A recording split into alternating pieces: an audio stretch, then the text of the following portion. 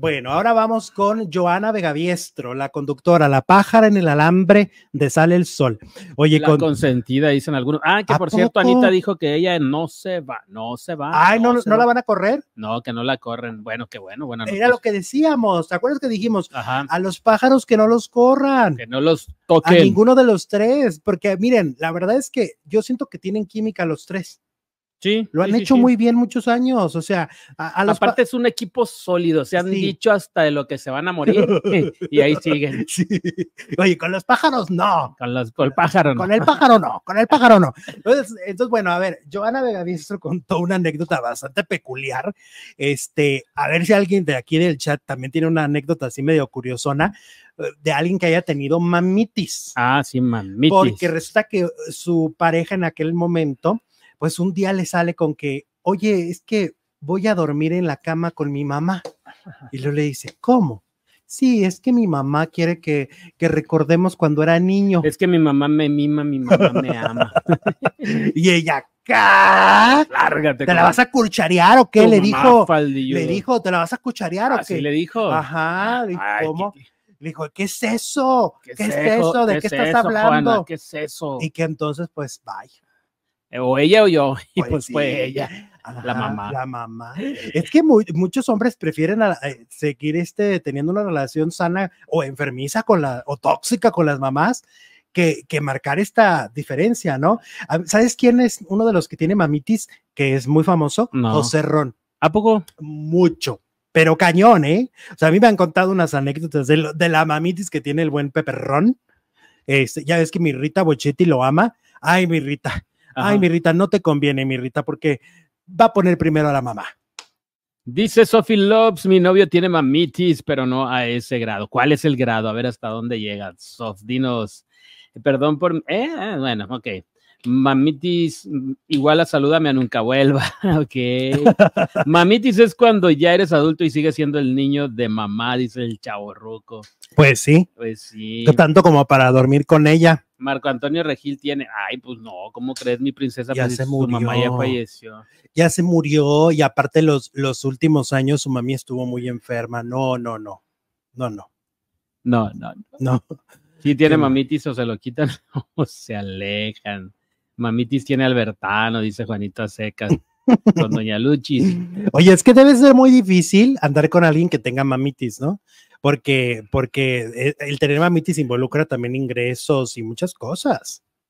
Sí. ¿Ingresos de qué? Sí, de que Te pagan por tener O mamitis. sea, José Ron, a mí me dijeron que le da muchos de sus ingresos Ah, a su mamá, una gran parte de sus O sea, ingresos. salidas de dinero, más bien. Claro. Dice, mira, aquí hay, aquí hay uno que tiene mamitis. Ay, Daniel. Enrique dice: Prefiero tener una gran relación con mi mamá antes que con otra persona. Ok.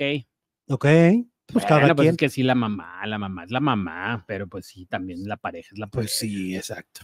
Eh, pobre Juan Osorio, mire, volviendo al tema Juan Osorio, fea sus novelas, fea su obra, que se vaya de vacaciones, también Ay, nos no. saluda, nunca vuelva. Ay, Dice, no, Lupita. Ay, Lupita, contrólate, cordura. Lupita, Lupita. Lupita, calmada, Lupita. Sí, gobiernate. Si solo es una obra, las novelas están buenas.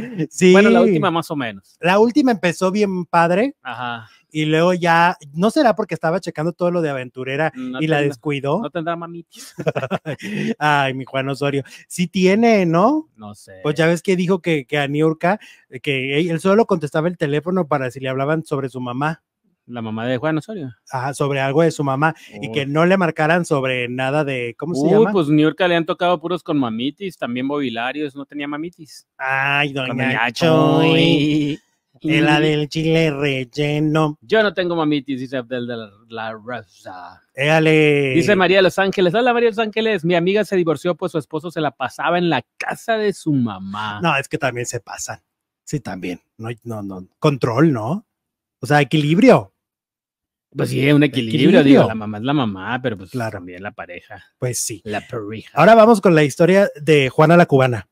Bueno, la, la- Oye, Juana, ¿qué crees? la Virgin, pues que ya. Pues mira, calladita, calladita. Resulta que el, el viernes lograron primer lugar de rating. El viernes fue una cosa rara. Bajaron mucho las audiencias de algunas costo, bueno, todas bajaron, Ajá. pero por ejemplo, La Rosa de Guadalupe, que es que La Rosa de Guadalupe es un programa muy exitoso, muy ganador siempre, Sí. bajó de una- Caballito de batalla. bajó de una manera que no dabas crédito y entonces resulta que como bajó la Rosa de Guadalupe, todo parece indicar que es la que le hereda el rating a Fugitivas. Entonces. Fugitivas bajó más, pero Juana, la historia de Juana subió la audiencia el, el viernes. Estoy hablando del viernes, porque luego nos van a decir, ay, pero ya habían dicho que no funcionaba. Bueno, estamos hablando del viernes, ¿no? Sí. específicamente ese día, la telenovela protagonizada por Brandon Peniche logró ser lo más visto de la televisión mexicana y lo más visto de las estrellas. Pues buena noticia, ¿no? Para ellos. Claro, claro. Ajá. Entonces, la historia de Juana, yo tengo amigos que, que ven mucho la historia de Juana, que dicen que está linda, que está linda la novela. ¿Será? Pues debe estar, pues, es, pues es, que- pues es que lo lindo es, que es tan subjetivo. Oye, Sí. no vamos a ir a ver el tornado, ya fueron a ver tornado, la, la recomiendan, yo quiero verla. Un amigo me dijo que está muy buena. Muy buena. y que sobre todo porque es palomera, divertida, pero de estas, como de estos blockbuster de los noventas. Ándale, no, y Tro- y Trostov, ¿cómo se llama el? Christoph. Cristo. Christoph dice que le cayó la boca a la película. Ajá, porque te da un poco esta nostalgia de cuando eras adolescente o, o- o- o Es que- niño y, y- y se estrenaba una película de este tipo corrías en los a verla. Es que de hecho hubo una película que se llamaba Tornado Claro. y yo fui a verla y salí y bueno, estaba Sí, o sea, o la veías en el cine o corrías a la, al video, Black- videocentro o al blockbuster, ¿no? Ajá. Y la rentabas. En la cuadra era Capitán Pirata. Yo creo que es, estas películas y las de Scream Ajá. son muy, muy de nostalgia de los 90. No sé si también, pero de los 80, bueno, de los ¿Cuáles? 80 que veías en los 90, Ajá. Viernes 13. Ah, también. Viernes 13, bueno, esa era.